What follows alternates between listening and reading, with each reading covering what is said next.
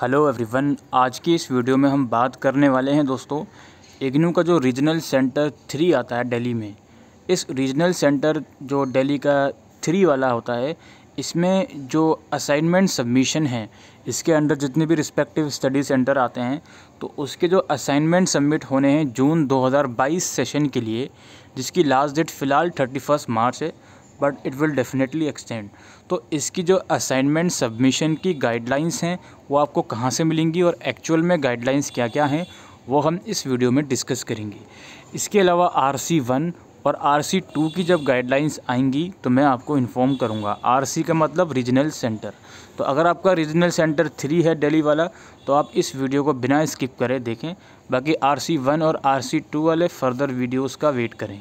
तो सबसे पहले हम बात करते हैं, देखो हम वेबसाइट पर आएँगे, इसकी ऑफिशियल वेबसाइट पर। यहाँ पे आने के बाद स्टूडेंट कॉर्नर का एक सेक्शन है, यहाँ पर आप आओगे। यहाँ पे आने के बाद दोस्तों, थोड़ा नीचे आओगे लेफ़्ट साइड में देखोगे, आपको लिंक मिलेगा guidelines and link for submission of TEE June 2022 online assignment इस लिंक पर आप क्लिक करोगे। असाइनमेंट इस बार भी ऑनलाइन ही सबमिट होंगे, ठीक है? गूगल फॉर्म के थ्रू या फिर ईमेल आईडी के थ्रू आपको पता कैसे चलेगा कि आपको गूगल फॉर्म या ईमेल आईडी के थ्रू करना है? अभी मैं आपको यही सब चीज़ें इस वीडियो में बताने वाला हूँ। ठीक है? कुछ इंपॉर्टेंट नोट्स यहाँ पे लिखे हुए हैं कि आपकी जो आर सी थ्री की ईमेल आईडी है, उस पर असाइनमेंट मत सेंड करना। स्टडी सेंटर की ईमेल आईडी या गूगल फॉर्म पे सेंड करना है। ठीक है? एक सब्जेक्ट की मल्टीपल कॉपीज़ मत सेंड करना। ठीक है? और ऐसी पीडीएफ मत सेंड करना जिसमें पीडीएफ में कुछ रिस्ट्रिक्शन हो लॉक हो या करप्ट पीडीएफ हो, वो मत सेंड करना। पीडीएफ वगैरह अपलोड या सेंड करने से पहले उसको रिस्पेक्टिवली उस पीडीएफ का साइज़ चेक कर लीजिएगा, ठीक है?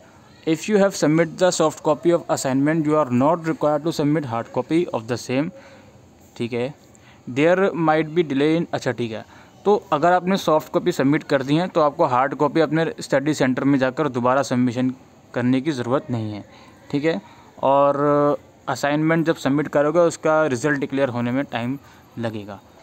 अच्छा इसके अलावा आप अगर ईमेल के थ्रू असाइनमेंट सबमिट कर रहे हो तो जो आप ईमेल सेंड करोगे तो उसका जो सेंड बॉक्स होता है, वही आपका जो रिसिप्ट होगा, वो होगा। ठीक है? ठीक है जी। अब यहाँ पर देखिए, कुछ यहाँ पर पी हैं। सबसे पहले इंस्ट्रक्शन वाली पीडीएफ मैं आपको डाउनलोड करके बता देता हूँ, इसमें क्या क्या इंपॉर्टेंट चीज़ें लिखी हुई हैं। तो इस पीडीएफ को हम ओपन करेंगे तो इसमें लिखा हुआ है कि जो भी आपका स्टडी सेंटर है, उसकी ईमेल आईडी या गूगल फॉर्म पर ही असाइनमेंट सबमिट करेंगे। ठीक है?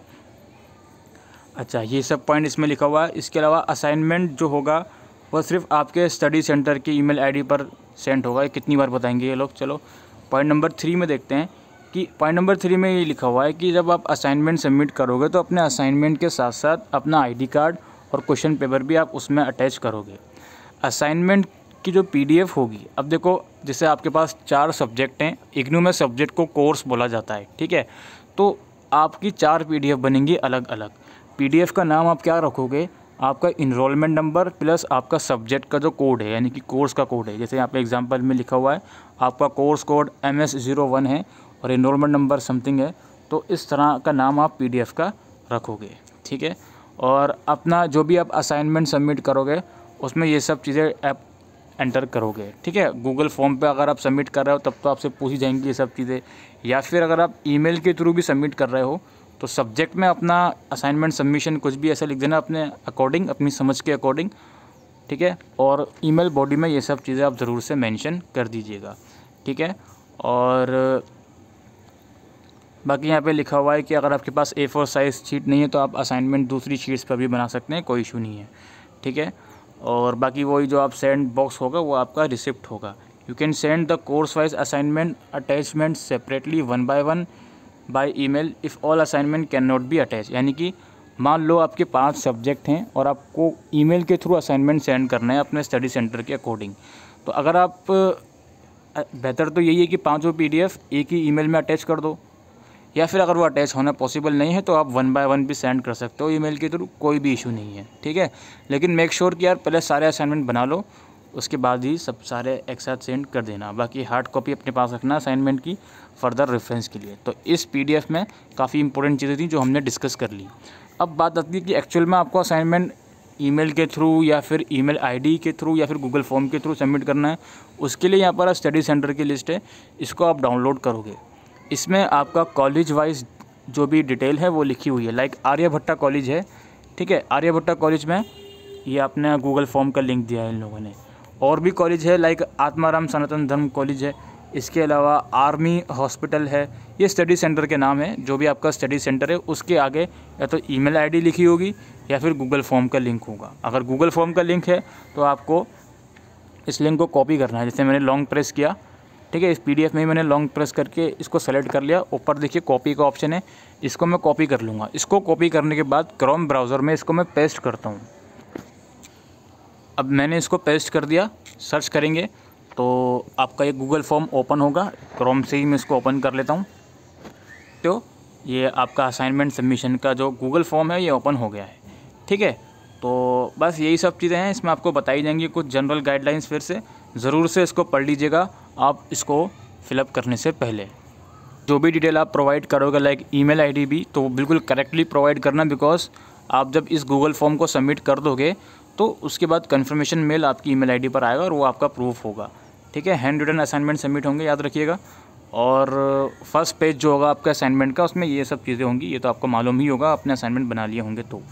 और upload the scan copies of your assignment in P D F format only not more than twenty five M B scan assignment should be clear and legible no intimation will be given to submit your assignment again and evaluation will be done accordingly तो बिल्कुल properly अपना assignment submit करना, पच्चीस M B का size होना चाहिए, इससे ज़्यादा का नहीं होना चाहिए।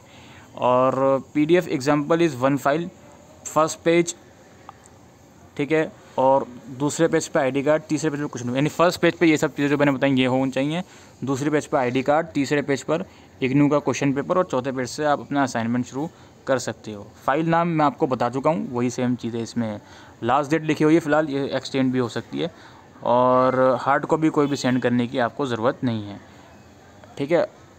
अच्छा और एक सब्जेक्ट का असाइनमेंट एक से ज़्यादा बार आप नहीं सेंड करेंगे, ये भी चीज़ें इसमें लिखी हुई हैं। In case of any difficulty आप इस ईमेल आईडी से कांटेक्ट कर सकते हैं, जो यहाँ पर मेंशन है। बाकी नीचे आओगे तो आपसे सारी चीज़ें पूछी जाएँगी, इनको लिख लीजिएगा। ठीक है? और अपना जो भी असाइनमेंट है वो आप सबमिट कर दीजिएगा। याद रखिए, एक सब्जेक्ट की एक पीडीएफ बना के गूगल फॉर्म में सबमिट होगी और अपनी रिस्पेक्टिव गाइडलाइंस आप पढ़ते जाइएगा। उसको फॉलोअप करते हुए ही आप असाइनमेंट को सेंड करोगे। ठीक है? इसी तरह से आप देख लो यहाँ पे, अगर आपका पीएमसी कॉलेज ऑफ़ एजुकेशन है तो यहाँ पर ईमेल आईडी दी हुई हैं। ठीक है? एमए एजुकेशन सेकेंड ईयर का ये ईमेल आईडी है। तो आप ईमेल आईडी पे सेंड करोगे। ईमेल आईडी के सब्जेक्ट में लिख देना असाइनमेंट सबमिशन और सब्जेक्ट बॉडी में जो चीज़ें होती हैं, जो मैंने आपको अभी थोड़ी देर पहले बताई थी, वो आप लिख दीजिएगा। ठीक है? तो और अगर ऐसा हो कि आपका स्टडी सेंटर का नाम इस लिस्ट में अगर नहीं है, मान लीजिए, या फिर स्टडी सेंटर का नाम है, इसके आगे कुछ लिखा हुआ नहीं है ब्लैंक है तो आप अपने रिस्पेक्टिव स्टडी सेंटर से ज़रूर से कांटेक्ट करें और या तो थोड़ा वेट कर लीजिएगा, ठीक है? तो आई होप दोस्तों ये वीडियो आपको यूज़फुल लगी हो तो वीडियो को शेयर करिएगा, कुछ क्वारीज हों तो कमेंट सेक्शन में लिख के पूछ सकते हैं। अभी के लिए वीडियो में इतना ही थैंक यू